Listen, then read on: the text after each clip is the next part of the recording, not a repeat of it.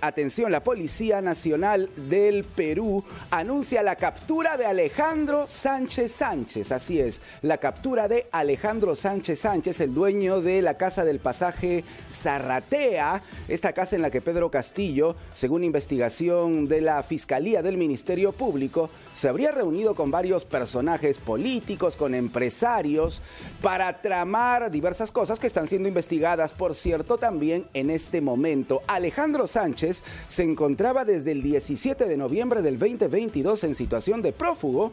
Pesa sobre él una orden de captura y 30 mil soles de recompensa. Además, eh, una prisión preventiva que no ha cumplido obviamente porque se encontraba prófugo y estaba siendo buscado por la justicia. Alejandro Sánchez entonces ha sido ya detenido por la policía y definitivamente todos esperamos que pueda hablar todo lo que sabe sobre estas reuniones clandestinas, estas reuniones que eh, sin duda eh, pueden traer también muchísimas revelaciones sobre la organización criminal que estaría encabezando el expresidente Pedro Castillo. Hablamos en condicional porque el tema todavía se encuentra en investigación. Reiteramos entonces alerta informativa de RPP a través de la Dirección de Investigación Criminal, la Policía Nacional confirma la captura de Alejandro Sánchez Sánchez. Así es, Alejandro Sánchez Sánchez, el dueño de la casa del pasaje Zarratea en Breña, prófugo de la justicia desde el 17 de noviembre del 2022.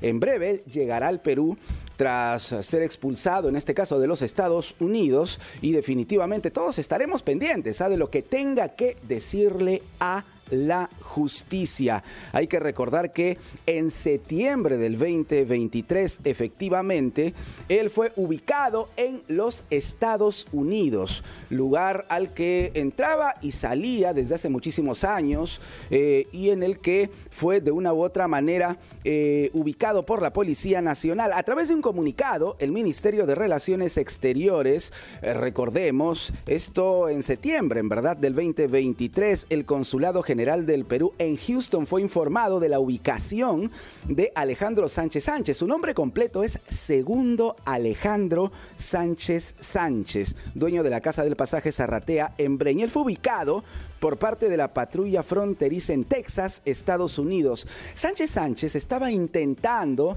eh, en ese entonces, hablamos de septiembre, octubre del 2023, eh, cruzar ilegalmente la frontera sur entre Estados Unidos y México en la localidad de Eagle Pass, algo así como Paso de Águila en español. Allí fue ubicado Alejandro Sánchez ya entre septiembre y octubre del 2023. Por cierto, Alejandro Sánchez a través de su defensa legal intentó obtener el asilo político en los Estados Unidos. Así es, presentó un recurso para obtener asilo político en los Estados Unidos, pero este en su momento fue negado. Así es.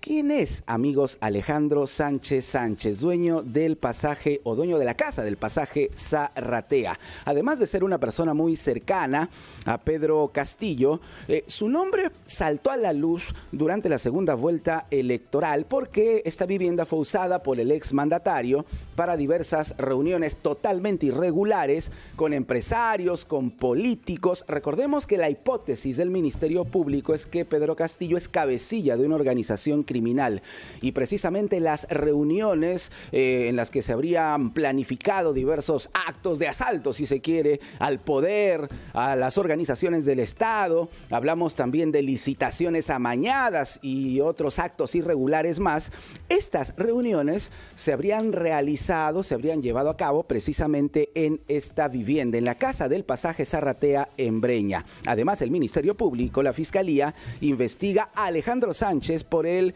eh, presunto delito de tráfico de influencias. Así es, tráfico de influencias, reiteramos, en el marco de las indagaciones por la presunta existencia de una organización criminal que habría liderado desde Palacio de Gobierno a el expresidente Pedro Castillo. Pero recordemos que estas reuniones se venían presentando ya incluso desde inicios de la segunda vuelta de la campaña electoral que llevó a Palacio de Gobierno a Pedro Castillo.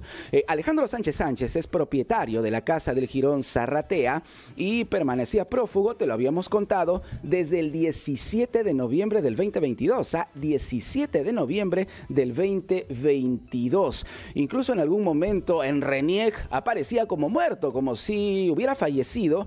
Claro, una maniobra que sirvió para distraer de alguna manera a las autoridades y facilitar, no sabemos por quién o por quiénes, eso tendrá que investigarse, eh, su huida hacia los Estados Unidos, el lugar en el que fue ubicado entre septiembre y octubre del 2023. Eh, en este caso, amigos, entonces, tras ubicación entre septiembre y octubre del 2023, la Policía Nacional y la DIRINCRI anuncia ahora, atención, que eh, Alejandro Sánchez ya fue capturado en Estados Unidos y que tendrá que venir al Perú para hablar todo lo que sabe de estas reuniones totalmente irregulares, clandestinas, que se llevaron a cabo en la casa del pasaje Zarratea. Y atención porque Alejandro Sánchez cuenta con orden de captura vigente por el delito de pertenecer a una organización criminal. Así es, pertenecer a una organización criminal que estaría siendo encabezada por el expresidente Pedro Castillo, quien se encuentra actualmente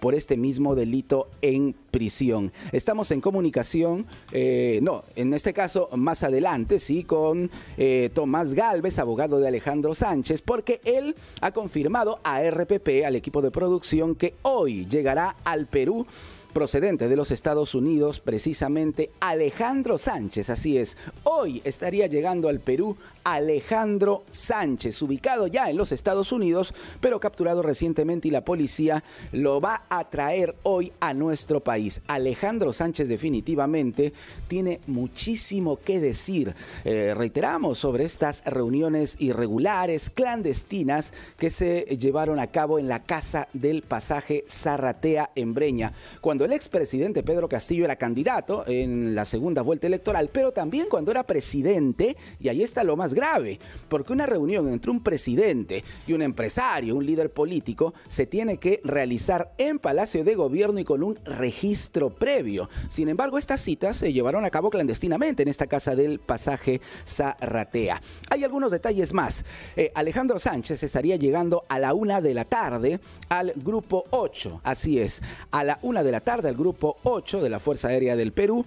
Eh, a la una de la tarde ya vamos a tener a Alejandro Sánchez en nuestro país. En este momento, él está siendo eh, trasladado eh, y a la una de la tarde, más o menos en unas tres horas, Alejandro Sánchez estaría arribando, estaría llegando a nuestro país. ¿Qué va a pasar con él apenas pise suelo peruano? Bueno, va a ser trasladado a la DIRINCRI para empezar, que es la Dirección de Investigación Criminal de la Policía Nacional del Perú. Luego que seguir el procedimiento respectivo en cuanto a la investigación, porque reiteramos, Alejandro Sánchez, dueño de la Casa del Pasaje Zarrate, está acusado, denunciado por presuntamente pertenecer a esta organización criminal liderada por el expresidente Pedro Castillo, según hipótesis del Ministerio Público.